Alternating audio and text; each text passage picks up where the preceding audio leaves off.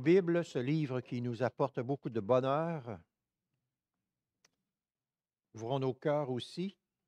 Préparons-nous à écouter cette parole vivante et permanente qui subsiste éternellement. Souvenons-nous que notre Sauveur Jésus a dit, prenez garde à la manière dont vous écoutez. Nous tournons ensemble dans nos Nouveaux Testaments, l'épître de Paul aux Hébreux, l'épître aux Hébreux, chapitre 6, au verset 9 à 20, à la page 249 dans notre Nouveau Testament. Hébreux 6, 9 à 20.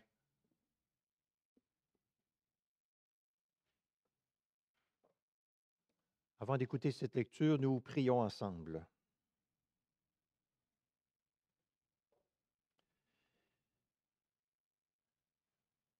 Notre Dieu bienheureux, toi qui es le Seigneur bienheureux, toi qui as inspiré les saintes écritures pour notre bien, merci pour l'espérance que nous procure ta parole de vie jour après jour.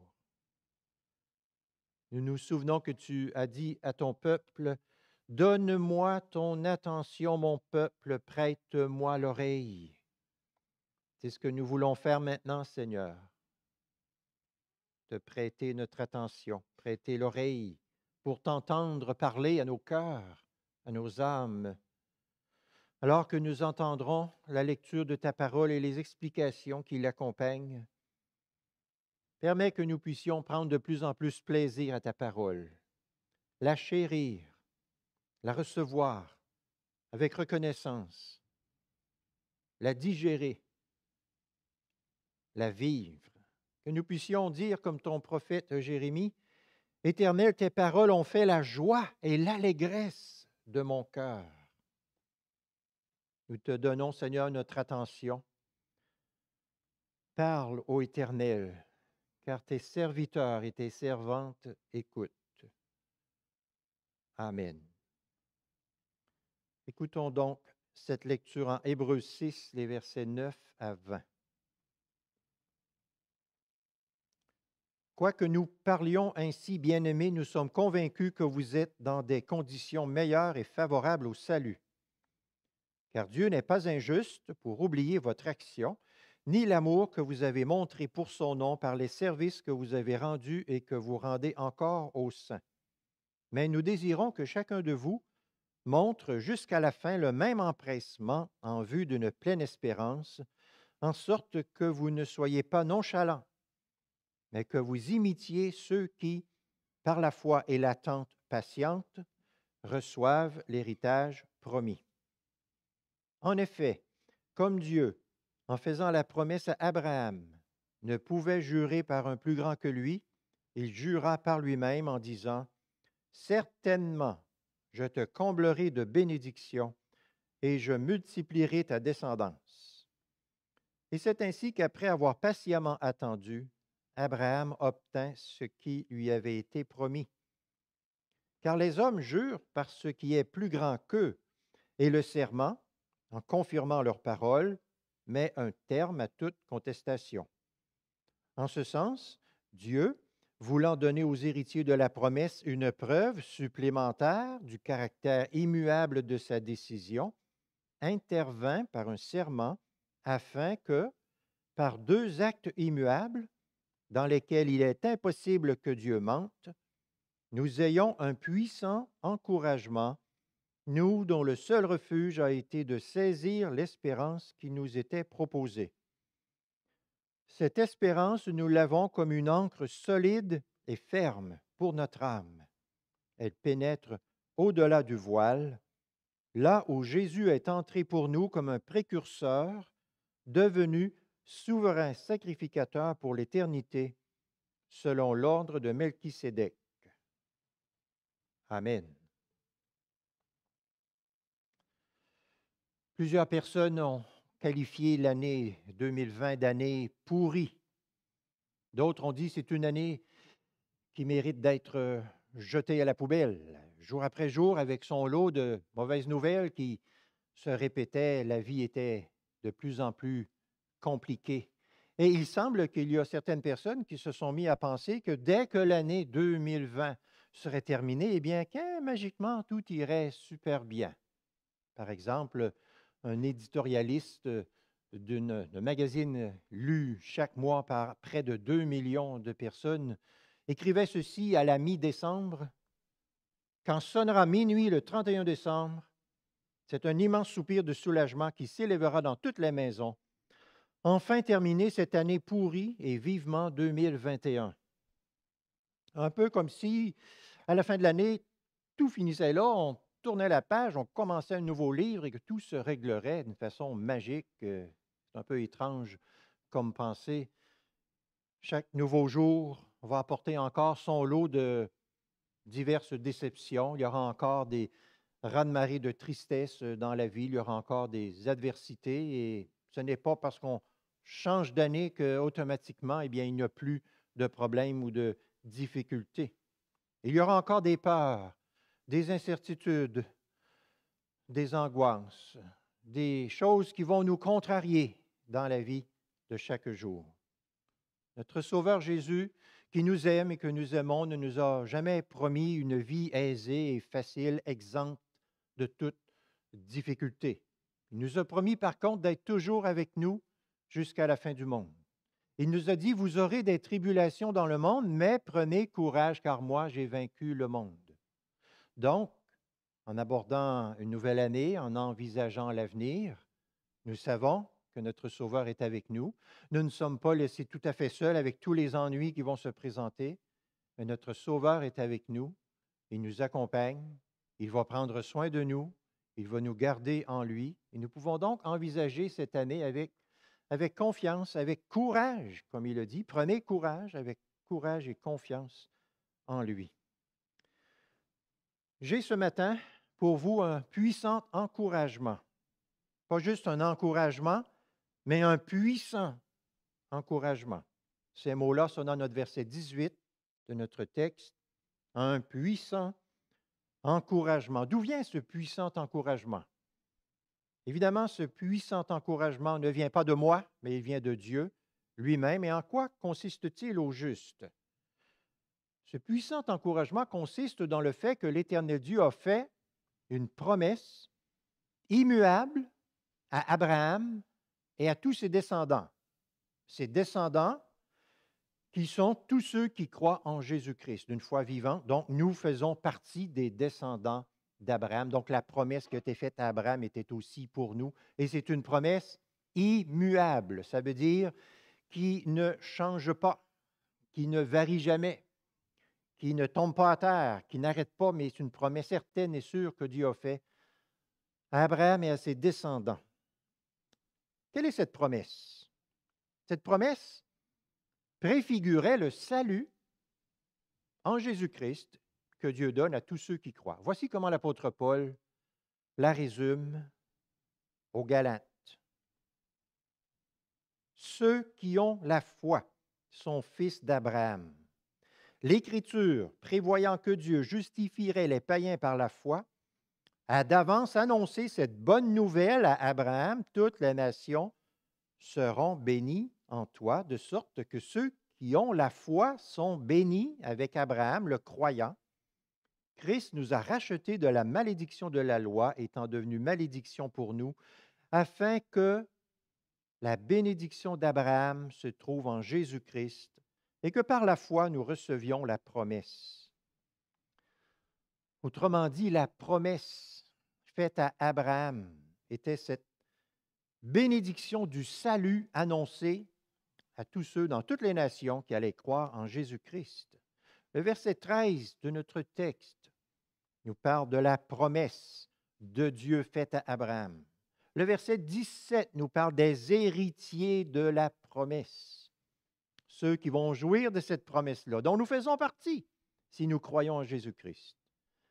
Et cette grande bonté de Dieu est appelée au verset 11, au verset 18, au verset 19, notre espérance notre espérance, l'espérance chrétienne. Cette espérance, l'auteur de l'Épître aux Hébreux dit il ne faut pas la laisser tomber, il ne faut pas la négliger. c'est le trésor des trésors.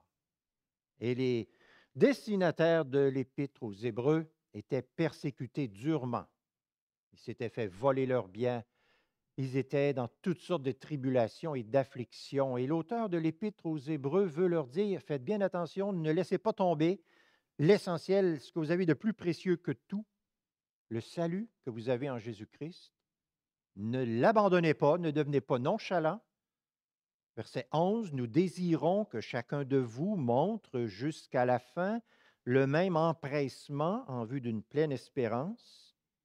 Verset 12, il ne faut pas aller dans la nonchalance.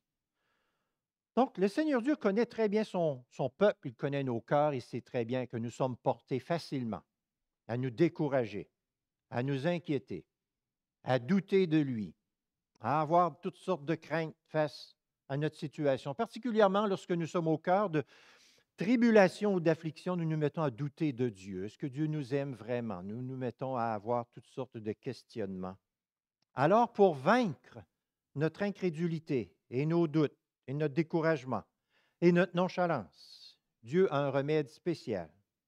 Ce remède nous est exposé au verset 13 à 18 dans ce passage sans pareil qui nous parle d'un serment. Vous avez déjà fait un serment d'une façon solennelle. Pourquoi est-ce qu'on prête serment? On prête serment pour confirmer ce qui a été dit.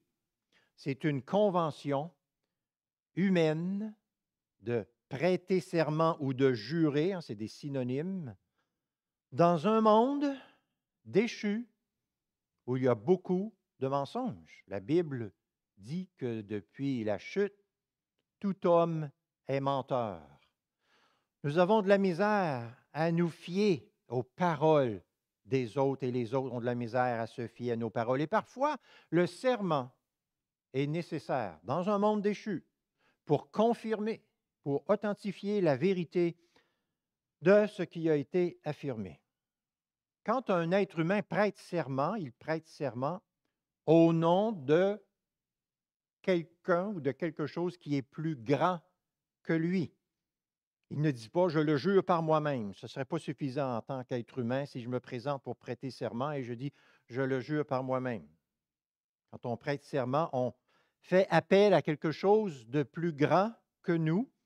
On fait intervenir une valeur qui impose le respect. Abraham lui-même, à quelques reprises, a juré par l'Éternel Dieu. Et il a encouragé d'autres personnes à prêter serment au nom de l'Éternel Dieu, qui est l'autorité suprême par excellence. Lorsque Jésus était sur la terre, il s'est rendu compte qu'il y avait des Juifs qui juraient par la terre ou par le ciel ou par Jérusalem, et Jésus leur a reproché ces choses-là. Mais Dieu, lui, a-t-il besoin de prêter serment? Non, Dieu n'a pas besoin de prêter serment parce qu'il est la vérité, pure, parfaite. Il ne ment pas. La Bible dit, Dieu n'est pas un homme pour mentir. Psaume 89, Dieu dit, je ne, je ne changerai pas ce qui est sorti de mes lèvres. Mentirai-je? Non. En titre 1, verset 2, Paul dit Dieu ne ment pas. Dans notre texte ici, en Hébreu 6, verset 18, il est impossible que Dieu mente. Est-ce qu'il y a quelque chose que Dieu ne peut pas faire? Oui, il y a quelque chose que Dieu ne peut pas faire. Il ne peut pas mentir. Il est la vérité même. Pourtant, le texte biblique qui est devant nous ce matin nous dit que Dieu a juré. Verset 13. Il a fait un serment verset 17.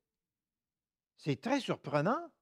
C'est très surprenant. Lui qui est la vérité, lui dans la bouche duquel il ne sort jamais aucun mensonge, il n'a pas besoin de faire des serments puis de jurer. On devrait recevoir tout de suite, sans aucune hésitation, ce qu'il dit, sans lui demander de, de, le jurer ou de prêter serment pour savoir si vraiment il nous a dit la vérité ou non. Ça n'a pas de bon sens. Donc, ça nous apparaît très étrange, ça nous apparaît redondant qu'un Dieu qui est la vérité doive prêter serment. On comprend quand les hommes, c'est normal dans un monde déchu, on manque de fiabilité, on est menteur, etc. Mais Dieu prête serment et jure. Et on se demande, mais par qui va-t-il jurer? Est-ce qu'il y a quelqu'un, quelque chose plus haut que lui par qui il va pouvoir jurer? Bien sûr que non. Si c'était le cas, s'il pouvait jurer par quelqu'un qui lui est supérieur, lui, serait moins que Dieu. Ça n'arrivera pas. C'est impossible. Regardez le verset 13.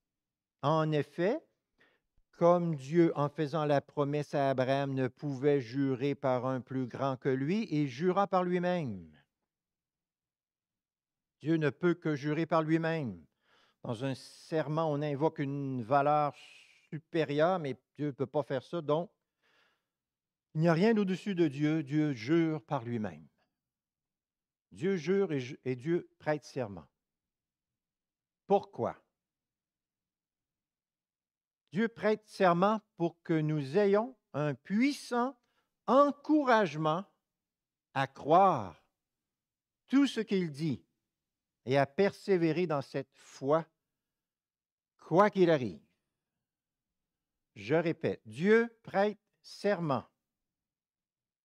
pour que nous ayons un puissant encouragement à croire tout ce qu'il dit et à persévérer dans cette foi, quoi qu'il arrive. Le fait que Dieu prête serment et qu'il jure nous montre aussi à quel point notre salut est important pour Dieu.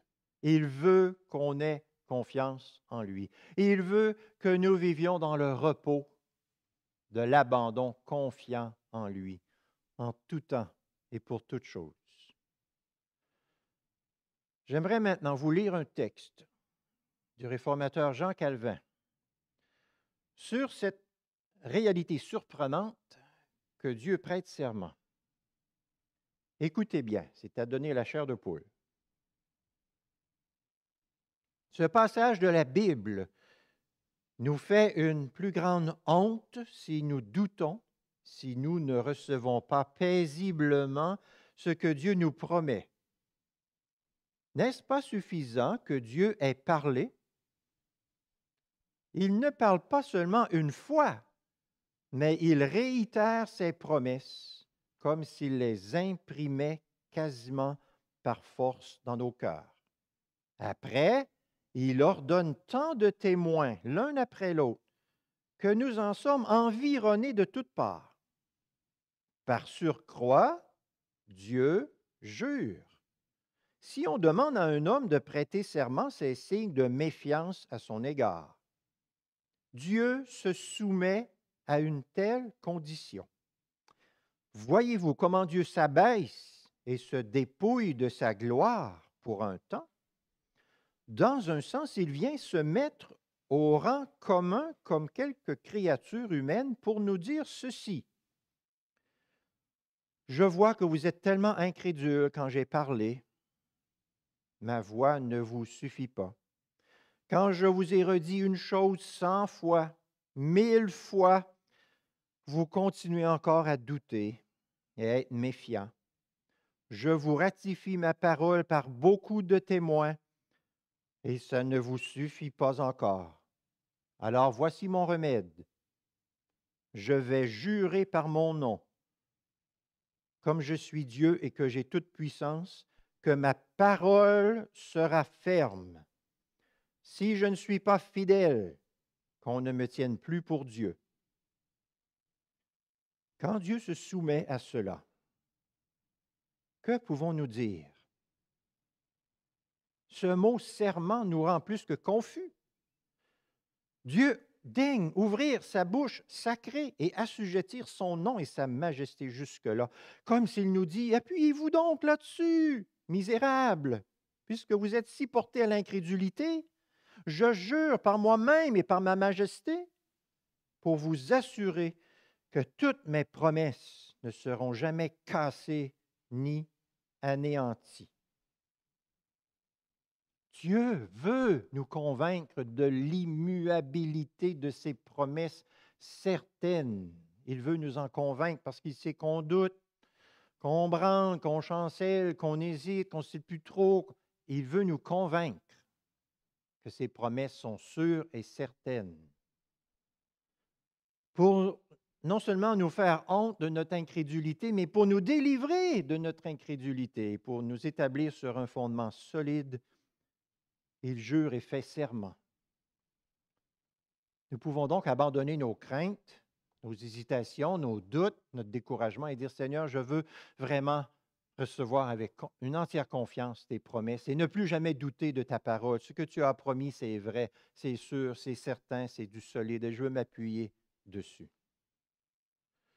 Notre inconstance fréquente dans la foi provient de notre manque de connaissance de qui est Dieu, de son caractère et de ses intentions. Il a solennellement promis de bénir Abraham et ses descendants, tous ceux qui croient, de prendre soin d'eux, de les amener à la destination éternelle du salut et du repos en lui. Le remède à notre incrédulité, c'est ce serment dont il nous est parlé ici. À nous maintenant d'y répondre par une vie d'entière confiance à notre Dieu. La Bible dit que les chrétiens marchent par la foi, non par la vue. C'est ce qui est écrit tel quel en 2 Corinthiens 5, 7. Nous marchons par la foi, non par la vue. Comprenez bien donc que le serment ici qui est mentionné dans ce chapitre, ce n'est pas parce que la parole de Dieu n'est pas fiable, pas parce que Dieu a un problème, c'est nous qui avons des difficultés. C'est nous qui avons de la misère à croire. C'est nous qui hésitons. Verset 17, Dieu veut nous donner une preuve supplémentaire du caractère immuable de sa décision. Il fait ça par amour pour nous. Il fait le mille supplémentaire. Telle est sa générosité à notre égard. Pas de problème du côté de Dieu, il y a du problème du côté de nous. Nous doutons. Et c'est comme si Dieu vient se placer entre sa promesse et les héritiers de la promesse pour nous donner, pour nous mettre comme dans la main le remède à notre incrédulité. Dieu n'avait pas besoin de confirmer sa parole par un serment, mais il s'accommode à nous, à notre pesanteur, à notre lourdeur, à notre lenteur, à nos hésitations, et il vient pour vivifier, vitaliser notre confiance en lui par ce serment. Nous déduisons de tout ça à quel point le Seigneur considère comme important notre salut et notre persévérance jusqu'à la fin dans la foi. Non seulement il vient en aide à notre incrédulité, mais il remédie à notre incrédulité. Nous voyons ici le tréfonds du cœur de Dieu qui nous aime à ce point-là. Le serment de Dieu qui rend très clair la nature immuable de son plan salvateur d'amour pour nous. Ça nous donne le plus grand encouragement possible aujourd'hui dans nos vies. Dieu a fait une promesse et il a ajouté à une promesse un serment. Verset 18 dit que cette espérance-là, elle n'est qu'un refuge pour nous. Nous, dont le seul refuge a été de saisir l'espérance qui nous était proposée. Le seul refuge, que c'est consolant pour nous de savoir que Dieu ne peut pas se tromper, nous tromper, qu'il ne change pas d'idée, mais qu'il est fidèle à ce qu'il a pris comme engagement de nous bénir et de nous sauver. Cette espérance-là, elle est sûre, et certaine. C'est notre refuge, dit le passage ici devant nous. Dieu vient au-devant de nous et nous donne tout ce dont nous avons besoin pour rester vraiment, vraiment réfugiés, accrochés à lui. Mais ce n'est pas tout. Regardez le verset 19. Cette espérance, nous l'avons comme une encre solide et ferme pour notre âme. Quelle belle image. Une encre solide et ferme. La job d'une encre, c'est de s'accrocher solidement dans le lit de la mer, peu importe les circonstances, les conditions de la mer, pour garder le bateau en sécurité, sécurisé, plus les conditions météorologiques sont dangereuses et extrêmes et déchaînées, plus importante est l'ancre pour la stabilité et la sécurité du bateau. C'est un symbole, une image merveilleuse de l'espérance chrétienne. Pas étonnant qu'au fil des siècles, il y a beaucoup de chrétiens qui ont désiré mettre sur leur pierre tombale le dessin d'une encre. Mais pourquoi est-ce que nous avons besoin d'une encre, d'une espérance qui est une encre? C'est parce que tant que nous sommes dans ce monde déchu, nous oscillons jour après jour sur une mer déchaînée de toutes sortes de vagues qui sont hautes, qui sont grandes, qui parfois nous, nous surpassent, nous menacent de toutes sortes de façons.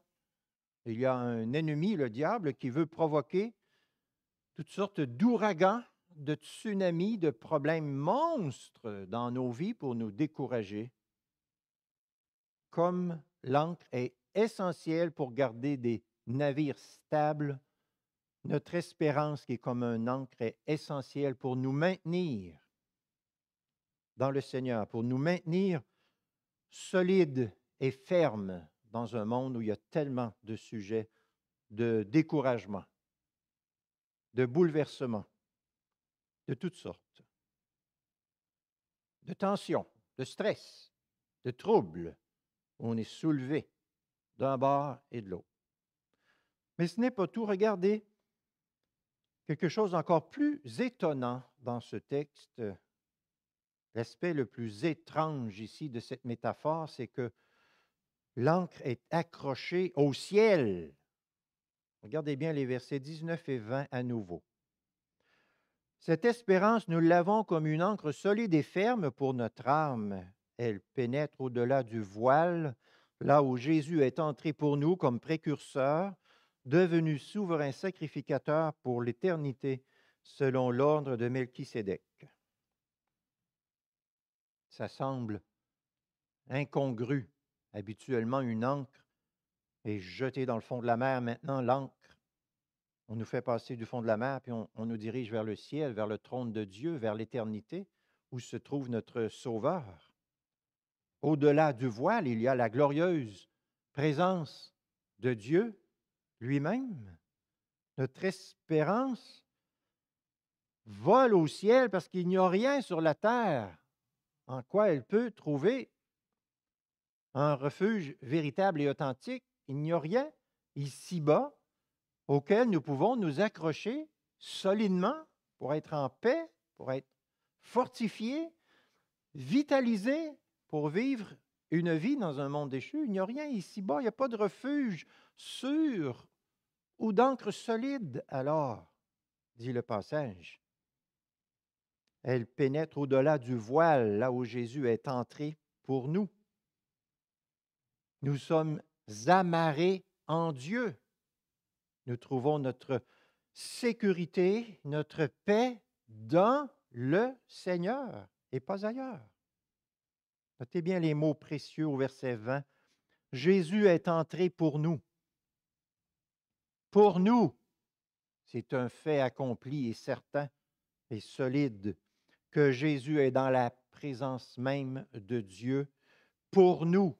Notre espérance repose sur Jésus, sur sa vie, sur son œuvre accomplie parfaitement.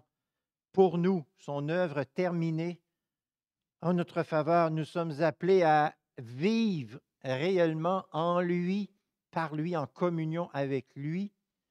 Notre espérance n'est pas une espérance sans fondement, mais le fondement de notre espérance, elle est dans notre Sauveur, le Seigneur Jésus-Christ, qui est entré là pour nous comme un précurseur, dit le verset. Un précurseur. Ça veut dire quelqu'un qui court devant pour ouvrir la route. Techniquement, dans la Bible, c'est un mot qui était utilisé dans un langage militaire, qui voulait dire quelqu'un qui précède l'armée, qui lui fournit une protection, qui lui ouvre en quelque sorte un chemin sans surprise et sécuritaire. Et c'est ce que Jésus-Christ fait. Lui qui est le chemin. Il nous ouvre le chemin. Il va au-devant de nous pour préparer le terrain. Il nous réconcilie avec Dieu, son Père. Il est le véritable leader de son peuple. Il est entré derrière le voile, pas pour lui, pas juste pour lui, pour nous, pour nous, comme notre précurseur. Notre espérance repose entièrement sur lui, sur ce qu'il a fait, sur sa vie parfaite, sur sa mort expiatoire, sur sa résurrection glorieuse, sur son ascension au ciel, sur sa session à la droite de Dieu maintenant. Notre espérance est solidement attachée à Jésus-Christ. L'apôtre Paul écrit dans son épître aux Corinthiens, C'est en Jésus que Dieu a dit oui à tout ce qu'il avait promis. Autrement dit, dans la venue et l'œuvre de Jésus, toutes les promesses de Dieu se réalisent. En Jésus, par Jésus, à travers Jésus, grâce à Jésus, toutes les promesses de Dieu se réalisent. Notre espérance est ancrée dans la promesse de Dieu et dans l'œuvre de Jésus-Christ. Les vents, les adversités, les troubles et les tempêtes de ce monde risquent de nous faire couler, mais nous sommes ancrés en Jésus-Christ, en haut, derrière le voile, amarrés en Dieu, solidement établis en lui. Des choses déplaisantes viennent nous attrister, nous contrarier, ben oui, il y en aura tout le temps, bien sûr. Mais nous n'allons pas nous décourager parce que nous avons un puissant encouragement dans cette parole que Dieu nous apporte ce matin. Nous regardons au Sauveur au-delà du voile et nous voyons tout ce qu'il a accompli pour nous et nous voyons qu'il continue d'être celui qui nous guide, nous attire, prépare le terrain, le chemin pour nous. Nous avons le moral bas pour toutes sortes de raisons. Nous regardons en haut à notre Sauveur merveilleux qui nous promet, qui nous assure, qui a fait en sorte que l'amour de Dieu ne nous quitte jamais, ne nous abandonne jamais. Nous nous sentons fragilisés pour diverses raisons. Le puissant encouragement du texte de ce matin qui nous rappelle la promesse assermentée de Dieu est ce qui nous motive à tenir ferme et à continuer sans nous décourager. Comme dit le verset 11, tenir ferme et montrer la même diligence jusqu'au bout.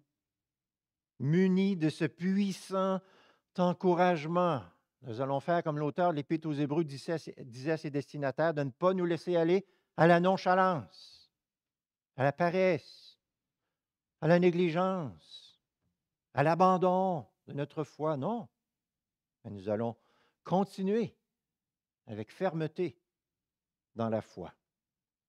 En Hébreu 10, 23, l'auteur dit Confessons notre espérance sans fléchir, car celui qui a fait la promesse est fidèle.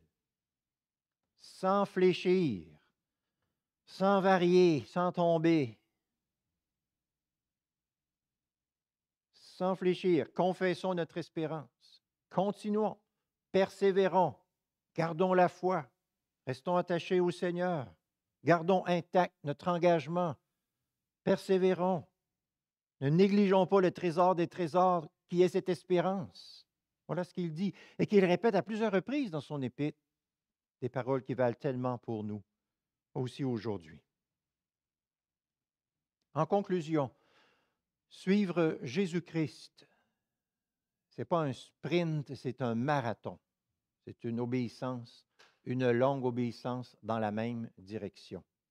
Et c'est un plaisir pour nous de faire ça. Et c'est possible pour nous de faire ça. Parce que nous avons un puissant encouragement. Et nous pouvons donc poursuivre notre route sans angoisse. Nous avons chanté tantôt ma vie dans ta sûre main, une main sûre et certaine et solide. Et donc, nous pouvons continuer notre marche et notre route avec confiance. Nous pouvons envisager et entreprendre 2021 avec confiance, avec courage, parce que le Seigneur nous a fait une promesse immuable, certaine et solide, et il a ajouté un serment, il a juré par son grand nom.